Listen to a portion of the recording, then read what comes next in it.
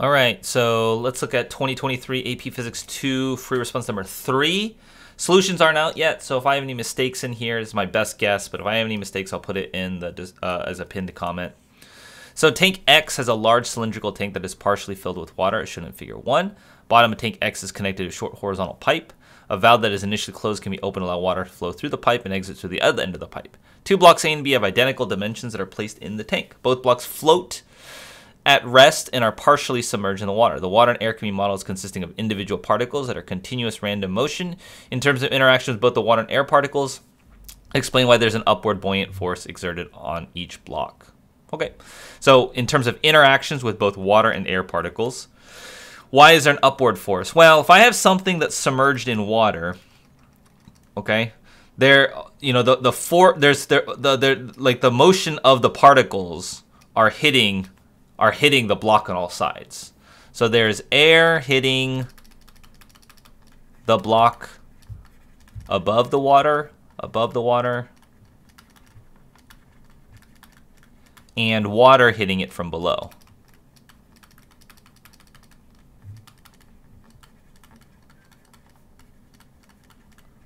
The forces from the water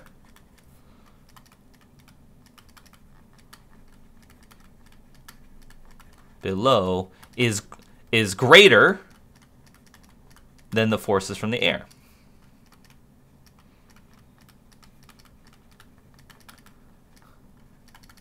Which implies there's a net force upward. Buoyant force from air and water. So something like that. The valve is then opened and water flows out through the pipe. The surface of the water moves downward Okay, this is uh, partially filled. the valve is closed and to allow water to flow through the pipe and exit. Okay. Um, surface the water moves downward when block A touches the bottom of tank X. Block B is still above the bottom of tank X. Which block has a greater density? Briefly explain your reasoning. So the thing with more density, so if it's more, so if block A is like below it, like that's what they're saying. Block block A is below it. So like um like block A is like more submerged than block B.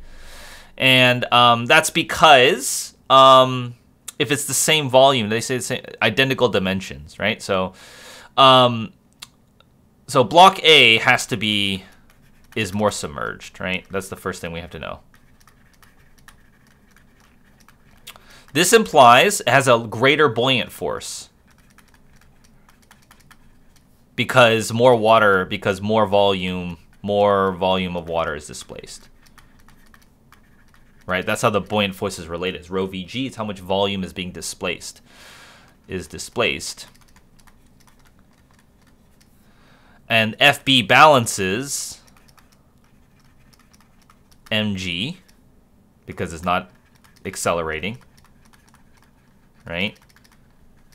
Which implies block A has more mass. Because it has larger buoyant force, has to be more dense, or it has to be, sorry, has to have more mass.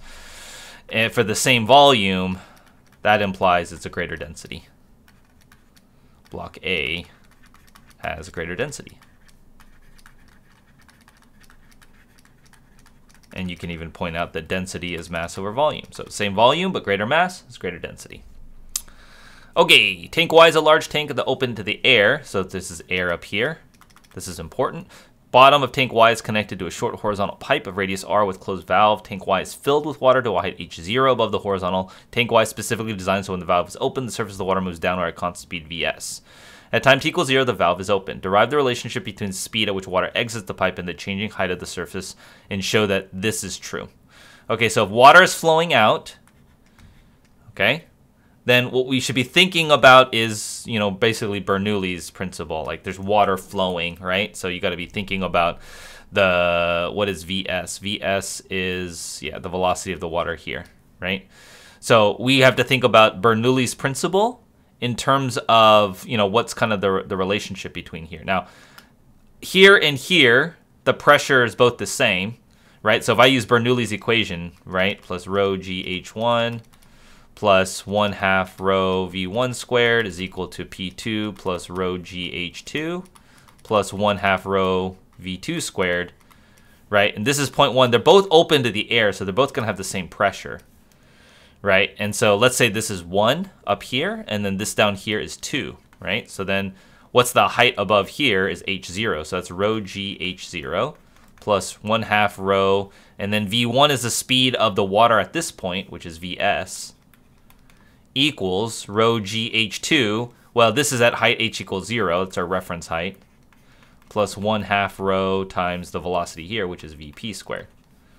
Okay, so that's going to be 0. And you can solve for vp by multiplying by 2. Okay, so all the, density, yeah, the densities you can divide out. So you're going to multiply by 2. So I get 2 rho h0 plus vs squared equals vp squared. And then you can just take the square root. 2 rho h0. Oh, wait not rho h0, gh0, because the rhos canceled, right? So, sorry, not the plus vs squared, right?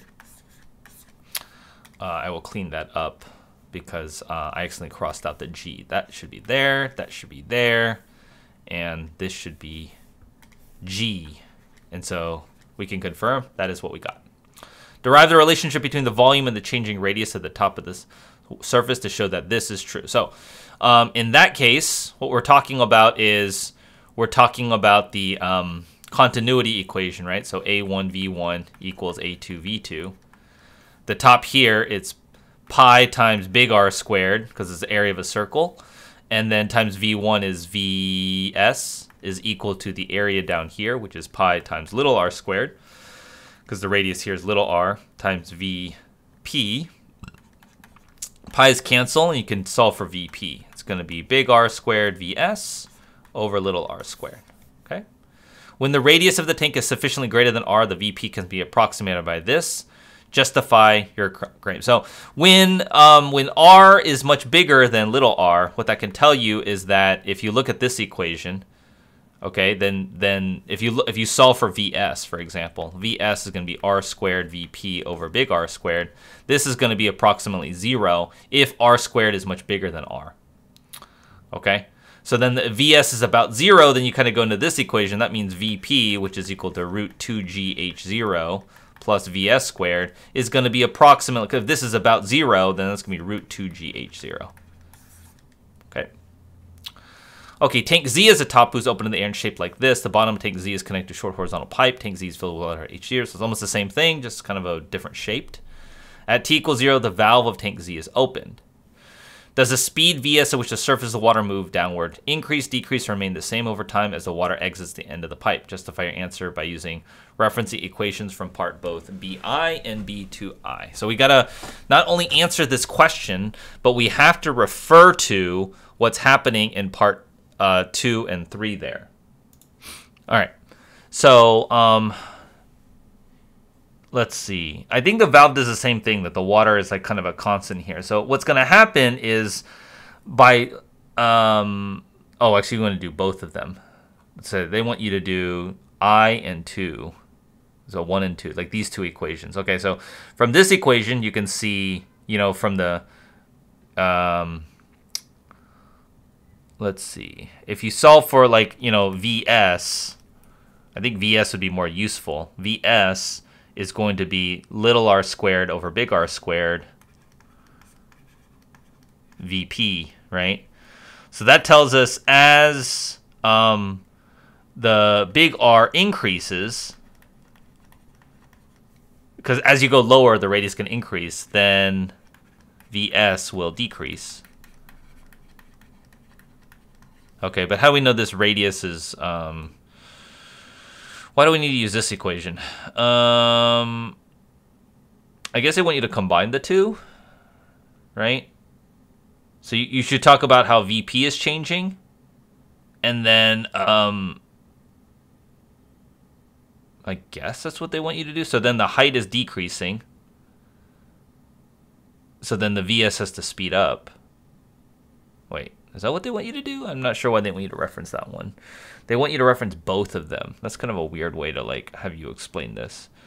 Um, let's see. The valve is designed Oh, tank Y is designed so that I, I just don't understand why this equation is related because the, the tank is different. This tank is designed so that the velocity is the same, but in general the velocity is not going to be the same. But okay, let let's let's let's take a look at this. Oh, there's not supposed to be an H, not there. Okay, so uh, I think what they're trying to say is um, uh, we don't know about VP. No. Okay. Um, I think you honestly just combine the two equations. I think that's what they want you to do. So I'm actually going to take my answer back. I think they just want you to combine these and just set them equal to each other. So you're going to say 2gh plus vs squared is equal to this r squared over little r squared vs.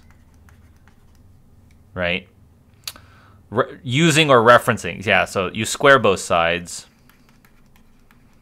You're going to get um, r to the fourth over r squared vs to the vs squared. And then you can like, um, let's see, r let's say let's say r is bigger, so it's bigger one. So let's move that over. So 2gh is gonna get you're gonna subtract one vs squared, so it's gonna be r to the fourth minus uh, over r squared. No, sorry, this is r to the fourth also. Over r to the fourth minus 1 vs squared. And so your vs is going to be 2gh over big r to the fourth over r to the fourth minus 1 square root. Now, why is that going to be helpful? Well, as the, the height decrease, this is going to get smaller and the r is going to get bigger. So the numerator gets smaller and the denominator gets bigger. So overall, it's going to decrease. So as the height decreases, as h decreases, and r increases because it's getting bigger and bigger, that implies that vs will decrease. Because ultimately, the numerator decreases and the denominator increases, then the vs will decrease. So I think that's what they wanted you to do on that one. A little bit weird, but like, you know, I had to connect like what they wanted you to work on that scenario. Okay.